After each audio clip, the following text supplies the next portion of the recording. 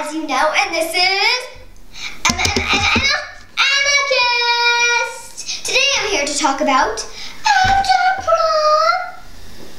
The studio will be giving away free photos online at all the after proms. They are photographing at April 28th is Littleton and Smoky Hill.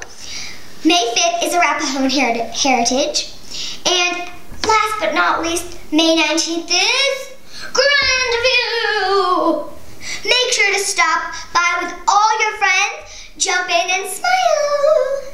Then we put them online for you to keep for free.